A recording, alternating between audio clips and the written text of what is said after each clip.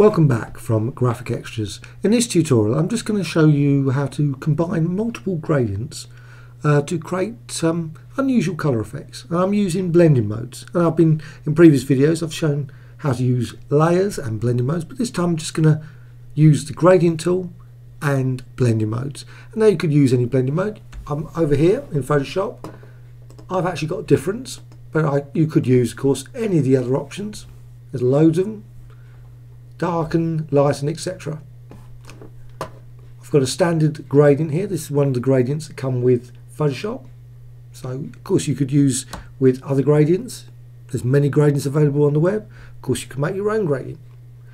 I'm just going to go to the gradient tool. I'm going to apply it in ellipse. I'm just going to just drag across from the center point to the length of the gradient and I'm now just going to apply another direction and immediately you've got a an unusual colour effect. So I'm just go across again. And you, know, at this point you could stop. You could use that as a maybe a background overlay, maybe source for brushes, whatever, patterns, many more. But you can of course also apply effects, like I say, you just go adjustments, black and white, tweak that a bit,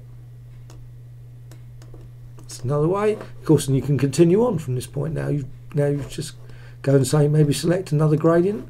I can just apply that. And at that point, I think I'll be finishing. But uh, that's the general idea. Just use blending modes and the gradient tool. You can create virtually unlimited type of color effects for use throughout Photoshop. And Obviously you can uh, combine them with maybe text and other elements like shapes or whatever.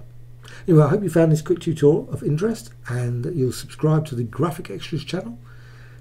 I'll add in new tutorials over the next couple of days, so uh, thank you very much.